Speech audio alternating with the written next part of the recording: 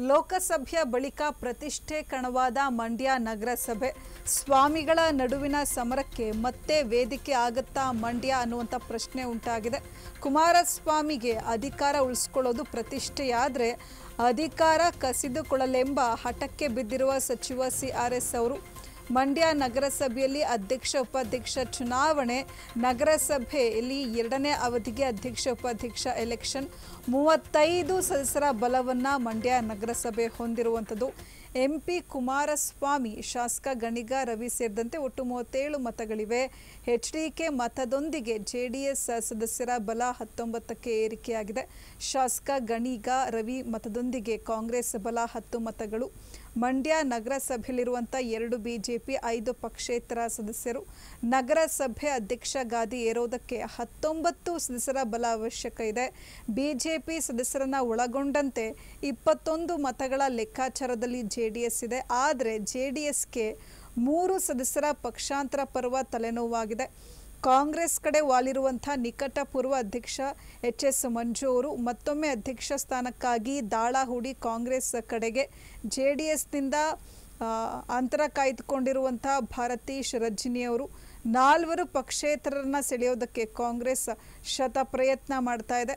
ಕಾಂಗ್ರೆಸ್ನ ಹತ್ತು ಸದಸ್ಯರು ಜೆ ಡಿ ಎಸ್ನ ಮೂವರು ಸದಸ್ಯರು, ನಾಲ್ಕು ಪಕ್ಷೇತರ, ಒಂದು ಶಾಸಕರ ಮತ ಸೇರಿದಂತೆ ಹತ್ತೊಂಬತ್ತು ಸಂಖ್ಯೆಯನ್ನು ಕೈ ತಲುಪಲಿದೆ. ನೇರ ಅಖಾಡಕ್ಕಿಳಿದು ತಂತ್ರಗಾರಿಕೆಯನ್ನು ಸಚಿವರು ಶಾಸಕರು ನಡೆಸ್ತಾ ಇದ್ದಾರೆ. ಇತ್ತ ಅಧಿಕಾರ ಉಳಿಸ್ಕೊಳ್ಳೋದಕ್ಕೆ ಜೆ ಡಿ ಎಸ್ ಶತಾಯ ಗತಾಯ ಪ್ರಯತ್ನವನ್ನು ಮಾಡ್ತಾ ಇರುವಂಥದ್ದು. ಎಸ್, ಲೋಕಸಭೆಯ ಎಲೆಕ್ಷನ್ ಬಳಿಕ ಇದೀಗ ಮಂಡ್ಯ ನಗರಸಭೆ ಪ್ರತಿಷ್ಠೆಯ ಕಣವಾಗಿದೆ. ಸ್ವಾಮಿಗಳ ನಡುವಿನ ಸಮರಕ್ಕೆ ಮತ್ತೆ ವೇದಿಕೆ ಆಗತ್ತಾ ಮಂಡ್ಯ ಅನ್ನುವಂಥ ಪ್ರಶ್ನೆ ಉಂಟಾಗ್ತಾ ಇದೆ. ಕುಮಾರಸ್ವಾಮಿ ಅವರಿಗೆ ಅಧಿಕಾರ ಉಳಿಸ್ಕೊಳ್ಳೋದು ಪ್ರತಿಷ್ಠೆಯಾದರೆ ಅಧಿಕಾರವನ್ನು ಕಸಿದುಕೊಳ್ಳಲೆಂಬ ಹಠಕ್ಕೆ ಸಿ ಆರ್ ಎಸ್ ಬಿದ್ದಿದ್ದಾರೆ. ಮಂಡ್ಯ ನಗರಸಭೆಯಲ್ಲಿ ಅಧ್ಯಕ್ಷ, ಉಪಾಧ್ಯಕ್ಷ ಎಲೆಕ್ಷನ್ ನಡೆಯಲಿದೆ. ನಗರಸಭೆಯಲ್ಲಿ ಎರಡನೇ ಅವಧಿಗೆ ಅಧ್ಯಕ್ಷ, ಉಪಾಧ್ಯಕ್ಷ ಸ್ಥಾನಕ್ಕೆ ಎಲೆಕ್ಷನ್ ನಡೆಯಲಿದೆ. ಮಂಡ್ಯ ನಗರಸಭೆ ಮೂವತ್ತೈದು ಸದಸ್ಯರ ಬಲವನ್ನು ಹೊಂದಿದೆ.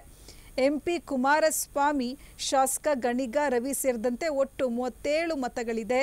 ಎಚ್ ಡಿ ಮತದೊಂದಿಗೆ ಜೆ ಡಿ ಎಸ್ ಸದಸ್ಯರ ಬಲ ಹತ್ತೊಂಬತ್ತಕ್ಕೆ ಏರಿಕೆಯಾಗಿದೆ. ಶಾಸಕ ಗಣಿಗ ರವಿ ಮತದೊಂದಿಗೆ ಕಾಂಗ್ರೆಸ್ ಬಲ ಹತ್ತು ಮತಗಳು. ಮಂಡ್ಯ ನಗರಸಭೆಯಲ್ಲಿರುವ ಎರಡು ಬಿಜೆಪಿ, ಐದು ಪಕ್ಷೇತರ ಸದಸ್ಯರು. ನಗರಸಭೆ ಅಧ್ಯಕ್ಷ ಗಾದಿ ಏರೋದಕ್ಕೆ ಹತ್ತೊಂಬತ್ತು ಸದಸ್ಯರ ಬಲ ಅವಶ್ಯಕ ಇದೆ. ಬಿಜೆಪಿ ಸದಸ್ಯರನ್ನ ಒಳಗೊಂಡಂತೆ ಇಪ್ಪತ್ತೊಂದು ಮತಗಳ ಲೆಕ್ಕಾಚಾರದಲ್ಲಿ ಜೆ ಡಿ ಎಸ್ ಇದೆ. ಆದರೆ ಜೆ ಡಿ ಎಸ್ಗೆ ಮೂರು ಸದಸ್ಯರ ಪಕ್ಷಾಂತರ ಪರ್ವ ತಲೆನೋವಾಗಿರುವಂಥದ್ದು. ಅಧಿಕಾರ ಉಳಿಸ್ಕೊಳ್ಳೋದಕ್ಕೆ ಜೆ ಡಿ ಎಸ್ ಶತಾಯ ಗತಾಯ ಪ್ರಯತ್ನ ಮಾಡ್ತಾ ಇದೆ.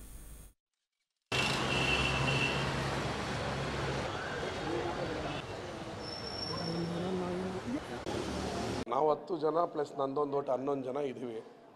ನಮ್ಮ ಜೊತೆ ಪಕ್ಷೇತರರು ಗುರುತಿಸ್ಕೊಂಡಿದ್ದಾರೆ. ಹದಿಮೂರು. ನಮಗೆ ಅಧಿಕಾರ ಹಿಡಿಯೋಕ್ಕೆ ಚಾನ್ಸಸ್ ಕಡಿಮೆ. ಅದರಿಂದ ನಾವೇನು ಟ್ರೈ ಮಾಡ್ತಾ ಇಲ್ಲ. ತಟಸ್ಥ ನಿಲುವು ಜನತಾ ದಳದಲ್ಲಿ ಏನಾಗುತ್ತೆ ಅಂತ ನೋಡ್ತೀವಿ. ನಾವು ಈಗ ಅವರಿಬ್ಬರು ಒಂದಾಗಿ ಇಪ್ಪತ್ತು ಜನ ಇದ್ದಾರೆ. ಅವ್ರ ಎಂ ಪಿದೊಂದು ಇಪ್ಪತ್ತೊಂದಿದೆ. ನಮ್ದು ಹದಿಮೂರೇ ಇರೋದು. ಅದರಿಂದ ನಾವು ತಟಸ್ಥ ನಿಲುವು ನಾವು ಯಾವುದೇ ಅಧಿಕಾರ ಹಿಡಿಯೋಕ್ಕೋಸ್ಕರ ಏನು ಪ್ರಯತ್ನ ಪಡ್ತಾ ಇಲ್ಲ. ಏನಾಗುತ್ತೆ ಅಂತ ಕಾದು ನೋಡ್ತೀವಿ. ಇಲ್ಲ, ಆ ಥರದ್ದೇನು ಯಾರು ನಮ್ಮ ಹತ್ರ ಮಾತಾಡಿಲ್ಲ. ನಾವು ಅಧಿಕಾರಕ್ಕೆ ನಮ್ಮ ಹತ್ರ ನಂಬರ್ ಗೇಮ್ ಇಲ್ಲದೇ ಇರುವಾಗ ನಾವು ಸುಮ್ಮನೆ ಮಾಡೋದು ಸರಿಯಲ್ಲ. ಅಲ್ಲಿ ಜನತಾದಳದಿಂದ ಏನಾಗುತ್ತೆ ಅಂತ ನೋಡ್ತಾ ಇದ್ದೀವಿ ಅಲ್ಲ, ಸ್ಪರ್ಧೆ ಆಕಾಂಕ್ಷಿಗಳು ಇದ್ದಾರೆ ಬಟ್ ನಂಬರ್ ಬೇಕಲ್ಲ ನಮಗೆ. ನಮ್ಮ ರಾಮಲಿಂಗಣ್ಣ ಕೇಳ್ತಾ ಇದ್ದಾರೆ ಶಿವಪ್ರಕಾಶ್ ಅವ್ರು ಇದ್ದಾರೆ ರವಿ ಅಣ್ಣ ಕೇಳ್ತಾ ಇದ್ದಾರೆ ಶ್ರೀಧರ್ ಅವರು ನನ್ನನ್ನು ಮಾಡಿ ಅಂತ ಇದ್ದಾರೆ ಅದರಲ್ಲೇನು ಇದಿಲ್ಲ but number game is important ಅದರಿಂದ ನಾವು ತಟಸ್ಥವಾಗಿದ್ದೀವಿ. ಆ ವಿರೋಧ ಪಕ್ಷದಲ್ಲಿ ಏನು ಬೆಳವಣಿಗೆ ಆಗುತ್ತೆ ಅನ್ನೋ ಕಾದು ನೋಡ್ತೀವಿ. ಇಲ್ಲ, ಆ ಥರದೆಲ್ಲ ನಮ್ಮ ಮುಂದೆ ಯಾವುದು ಇಲ್ಲ, ಸೆಳೆಯೋದು, ಗಿಳಿಯೋದೆಲ್ಲ ಕಾಂಗ್ರೆಸ್ ಪಕ್ಷದ ಸಿದ್ಧಾಂತನೂ ಅಲ್ಲ. ನಾವು ಆ ಥರದಕ್ಕೆಲ್ಲ ಕೈ ಹಾಕ್ತಾ ಇಲ್ಲ.